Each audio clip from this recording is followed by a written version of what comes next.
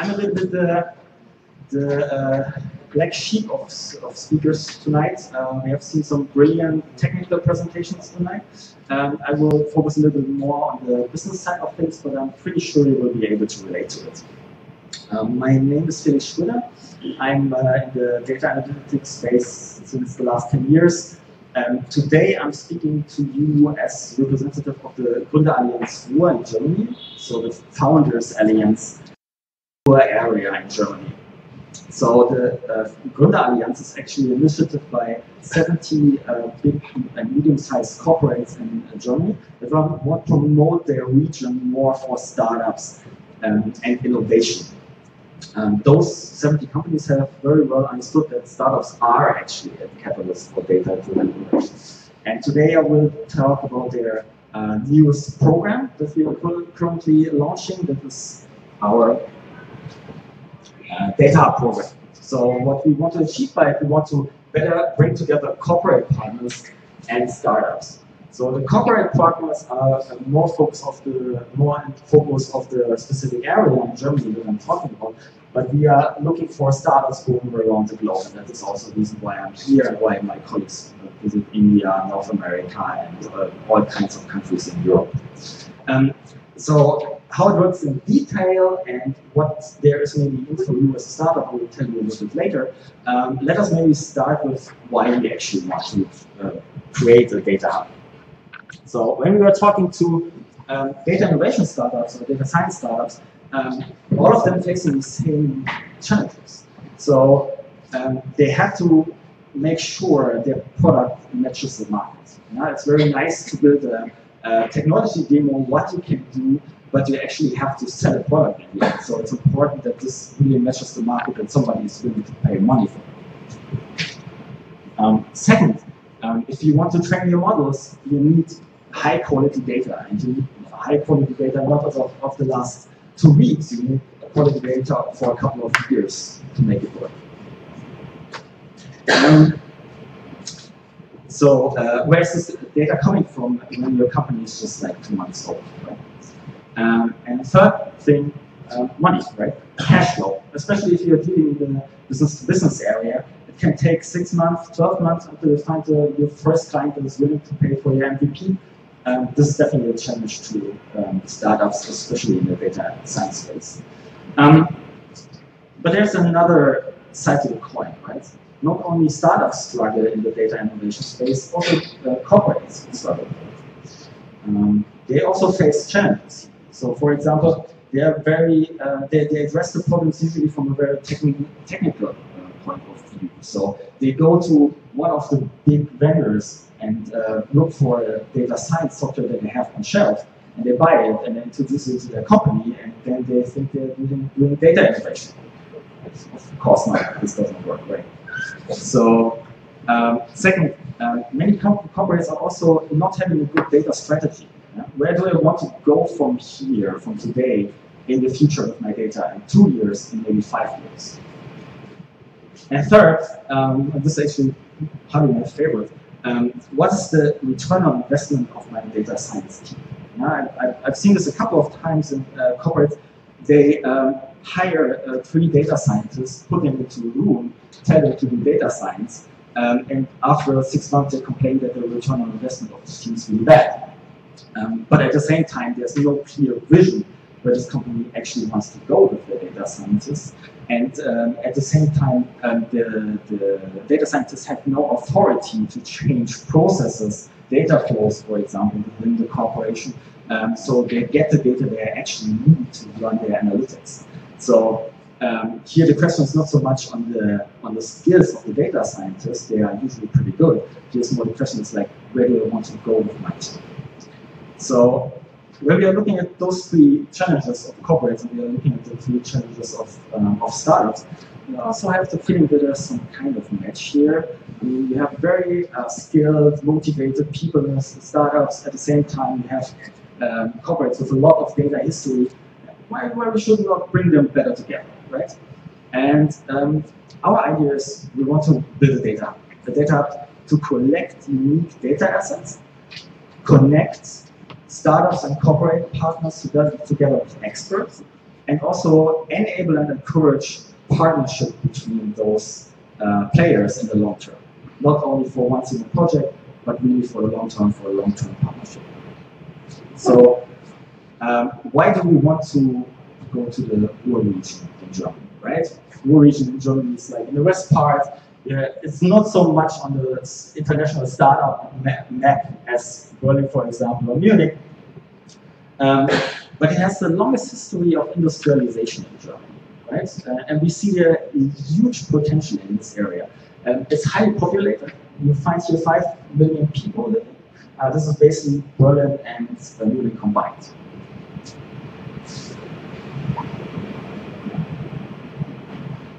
Um, so what we see here, especially uh, an opportunity for is industry data. So it's um, this area is famous for mining traditionally, steel production, mining. This all already came to an end in, over the last decade, I would say. Um, but still, the corporates, many corporates are around and they're sitting on a history of data of easily 20, 30 years sometimes. Uh, this industry, industry data is mostly untapped from a data science perspective, so we see their use potential if your startup is dealing in that area. At the same time, because of the because of this history of coal mining and uh, steel production, companies are very closely connected to each other. So your chances, if you getting one client uh, for your product in this uh, in this network, the chances are pretty good that you can sell it to some other companies there as well. So just to name a few, maybe those names will not tell you anything. This is pretty fine, but they're uh, kind of uh, not too small in, uh, in Germany. Uh, I guess very famous ones is when Boko, of course, also YouTube wanted one you maybe heard of. Um, yeah, that are names uh, in Germany usually recognize. Um, okay, now to the interesting part. What is in there for you if you are a startup? Um, we just launched our first open core with uh, a bunch of data challenges you can apply for a. So what is happening on our webpage, you find uh, real-world business problems, business uh, potentials from our uh, corporate partners. Um, they come together with unique data sets you can apply to those challenges. Um, and of course, if uh, this partnership uh, runs well and everybody is happy, you have very good chances to uh, create a new client, a new partner, maybe a new investor for you. And um, oh, oh, yeah, I forgot something. There's also a budget connected to every uh, single challenge, uh, usually around uh, 20,000 euros. So um, you find all those challenges on our webpage, data.ruhr. Uh, currently, you find in our first open, in our first open call seven challenges that are really focused on uh, data science programs. Uh, please have a look. Uh, I will now introduce you to, um, to uh, three, if I have enough time, to three of those challenges um, to give you an impression what it's, what it's all about. So, relatively easy to understand, I think not so easy to solve. This one from one of our partners in the Ruhr region uh, that's dealing in the water business actually. So what they have is they have a couple of thousand sensors in the lakes and canals around the Ruhr area, collecting information about water level, water speed, so they control, they can accordingly control their water pumps later in the process. This is really critical for them to understand, like, and also predict um, how water level will um, develop over the last, over the next couple of hours. So um, for their own prediction models, they need high quality data. But those sensors are of course outside, so they get dirty, um, they, they break, uh, sometimes, sometimes there's connection problem, um, or even some vandalism happening. So what they're actually having is a team of specialists that are mainly focused on fixing the sensor data on a day-to-day -day basis. Uh, identifying problems, saying, okay, uh, somebody should drive out in, into the field, uh, checking this and that sensor because the numbers look kind of strange. Um, but it's fixing this data for their own models is a little bit more challenging than just taking the average over the uh, over the start and endpoint that seems good, right? Uh, there's there's a lot of experience connected to this, so this could be a very interesting data science case to replicate this experience, this knowledge that those experts have uh, with the new data, with the model. Uh, another case, this is actually my, my favorite, uh, it's about ground depression. Um, so, uh, as I mentioned before, the Ruhr area uh, has a long history of mining. So they, they did um, uh, 1,200 meters or something like this. And um, it has a lot, a lot of mining was happening in this area. What means if there's a, maybe a structural pro problem in the ground because of this mining, and this can generate problems maybe 20 years later, 50 years later, um, causing actually holes collapsing, uh, yeah, collapsing on the surface uh, is really an issue and can be a danger in the future. So what's considered an early indicator of the structural programs in the ground that can affect the surface are actually small ground depressions. Um, can be two meters wide, 80 centimeters uh, uh, deep, but um, they are hard to find, right? We have data, our partner has data, um, uh, RGB data as well as like 3D, uh, 3D, 3D data of this area. Um, but finding those depressions is currently a manual, it's manual work. And this is very um, inefficient.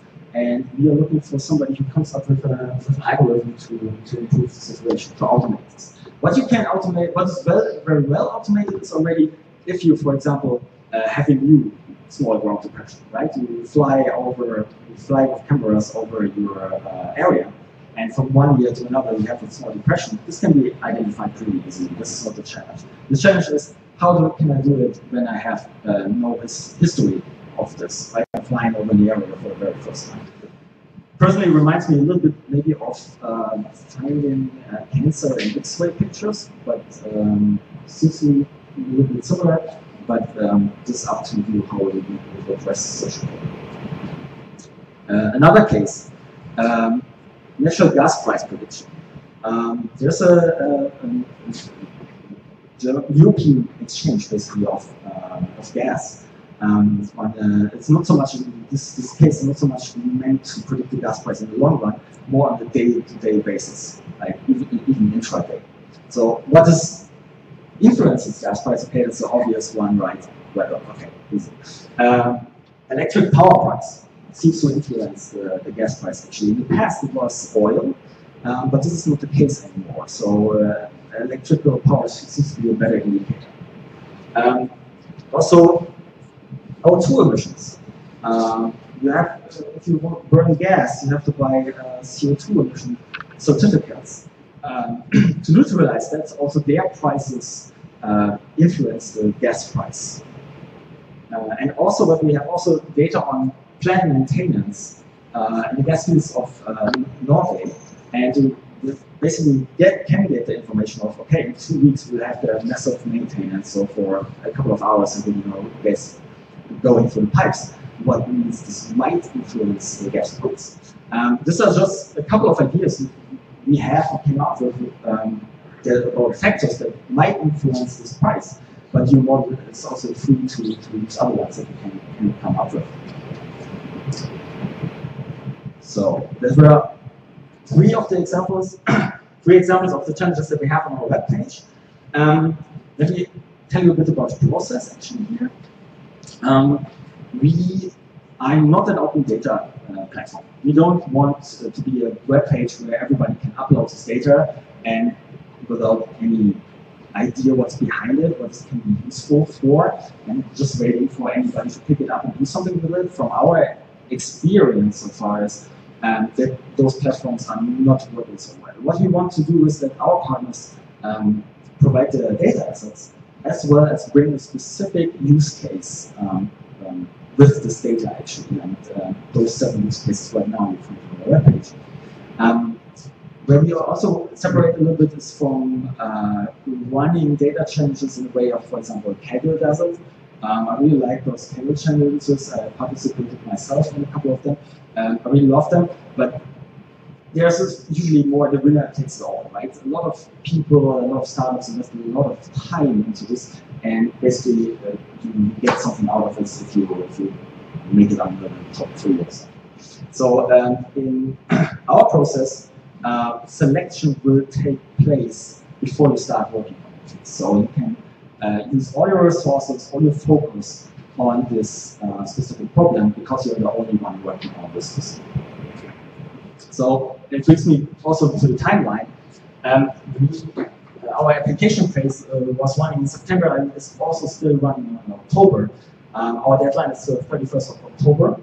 Then will be about like uh, 10 days um, selection process of the specific um, um, startups together with the partner that's actually providing this data. Um, and then you will work for around three months, depending on the case, complexity of the case, on the specific use case. And then we will think about long-term cooperation, depending on the outcome of this. Um, who should apply? Which which startups are we looking for? Again, uh, we're looking for startups globally. Um, you should be a startup in the, in the, data science field. This would be for sure beneficial. Um, one hard fact is we, we, want to have you a, a, a legal entity for uh, over six months. So it means like um, if you're a couple of students that have an idea, this is maybe not the, the right program for you, maybe you do something else. Um, so we want to have the legal established company. And of course, um, when you sign up to one of those challenges, please send us your application um, containing a technical approach that you will try on the, on the problem, as well as your ideas, uh, references from projects you have maybe already done. Um, this is very beneficial if you want to be selected for, for a specific use case. Again, uh, deadline is 31st of October. Um, maybe uh, you look at our webpage at those seven challenges and say, okay, um, I'm in the data science field and I have some experience there, but maybe there's no use case right now that um, is really fitting me. Uh, then please at least sign up to our uh, newsletter because, as I mentioned before, this is our first open call with the first seven challenges. Um, the next open call we are already planning, probably beginning of next year, maybe end of this year. Uh, we will run the next open call with new challenges, new partners. So the probability is high that maybe then uh, there's a challenge for you as well. So if you want to get notified, please sign up to our newsletter. Or if you know another um, startup maybe that you are aware of that we don't know that could be interested in one of our challenges, um, please notify them, let them know. Um, maybe this is a good match. So uh, again, uh, this is our webpage, datahub.ruhr. Um, thanks for your attention, and uh, I hope I receive a lot of uh, sign-ups and applications from CFO. Thank you. Thank you, Felix. Thank you very much. Okay, I think Paul has a question for you. Uh, just a quick one. I have two. The first one is I, I noticed in your slides uh, on the like previous one, you uh, it says uh, data with history. So I assume you have some sort of versioning with the data on your platform.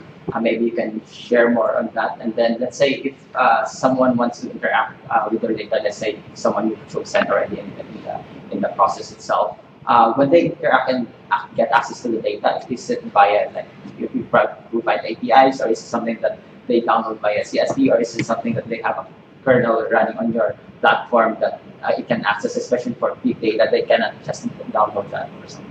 Uh, how, how are those? Big questions, depends. I will start from here. Okay. So what we wanted to achieve in the end is uh, we want to build also data assets, right? So right now, uh, those use cases, use cases come with specific data assets. You can uh, request on the web page uh, a data sample, there we will send you some, some just uh, some couple of rows basically of the data to have the first look at. You will receive the full documentation about the data. You will not receive the full data set. The full data set will be available to the startup that will work on the specific problem. Um, but what we want to do is, of course, collect those data assets over time on the on our data uh, on our data hub. What means like if you um, maybe are not chosen for the specific um, problem, but you say, okay, with this data I could solve maybe a completely different problem that is not part of the use case, then please reach out to us. Uh, we will manage that you get access to the data. This is the idea. We want to connect basically people. We want to connect also um, startups also to the right persons within the corporate. Because from our experiences, it can be quite hard. Like if you don't know anybody in the corporate uh, world or in specific corporate with the data form, um, it's really hard to open the door to, to gain trust, to talk to the right person. Um, we want to take this up. We want to be there, uh, the mediator for you, like connecting you to the uh, chief innovation officer, whoever, who's in charge of the data, who can can basically decide uh, which data is useful for you. Maybe there's even additional data that we haven't thought about. So we really want to be there, the mediator between both sides. Um, data, it, depends, right? Um, so we receive a lot of data from in CSV format, uh, Excel format as well, if they are not so big. We have some um, 3D point data, uh, GIS data. Um, Format-wise, it really depends on the, on the use case and the kind of data. Um, you will always receive their um, documentation file that, basically explains you uh, what it is. We really want only to have data in standard formats, so not uh, something super fancy where you have to buy a, a specific software for 20,000 euros. It's not that. Any more questions? Anyone has questions for Felix? Okay. If not, I think we can end out today's session. Thank you very much, Felix.